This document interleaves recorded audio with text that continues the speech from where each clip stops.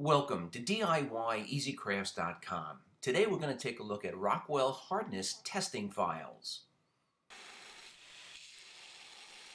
Now knife makers use a variety of different materials to create uh, their blades and they also put a lot of time and effort into creating each blade. The bevels, the profiles, putting scales on, etc. One thing that a lot of hobbyists overlook is how hard their knives actually get after heat treating. And it doesn't matter if you're heat treating high carbon steel in a furnace, heating it up with oxyacetylene torches, or uh, heating up stainless, one of the super stainless steels, uh, in a heat treating oven. The end result is the same. It's really important to know how hard your blades are uh, so that you know whether your heat treating uh, recipe and regime is working correctly. Now, the standard of the industry is a Rockwell tester. Unfortunately, these are a little bit overpriced for most hobby knife makers, uh, over a thousand dollars for one of these machines.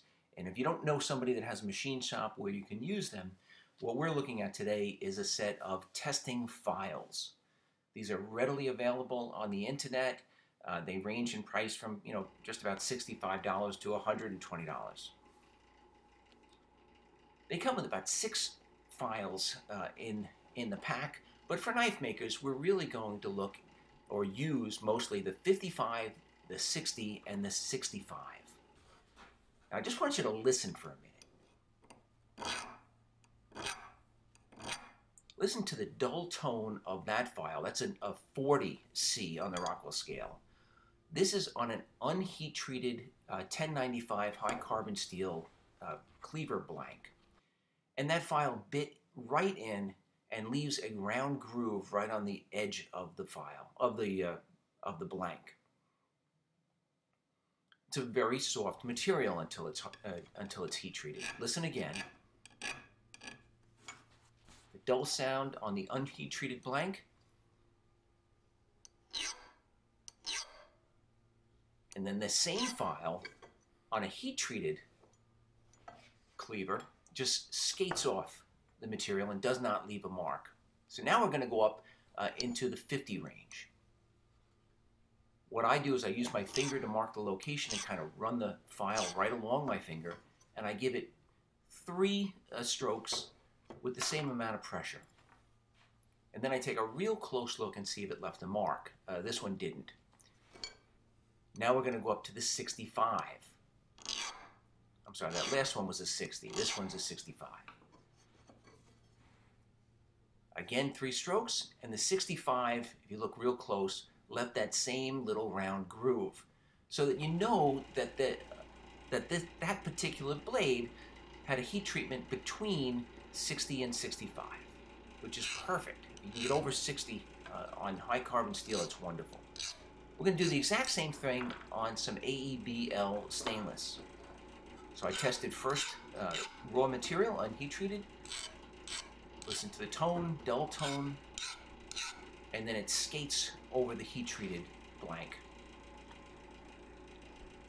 I'm going to jump right up to that 55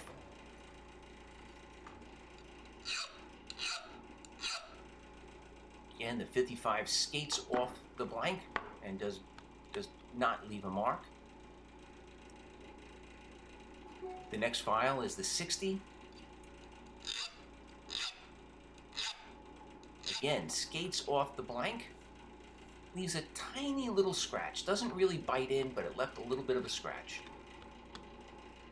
Also, also it's important to, to grind these blanks after heat treating so that you get rid of any carbonization. You want to really be uh, testing the raw material. And this is the 65, and again, the 65 did leave a tiny mark. It did bite in. So that again, even this stainless, heat treated, uh, has a hardness between 60 and 65. So, you know, it could be a 61, could be a 62, but it's right in that area. Now, this kitchen knife is actually going to be featured on an upcoming video. Um, this is the blank after I um, tried it with the with the files. If you look real close, you can see that little groove right by my finger. Didn't leave much of a groove, but it, it definitely bit in.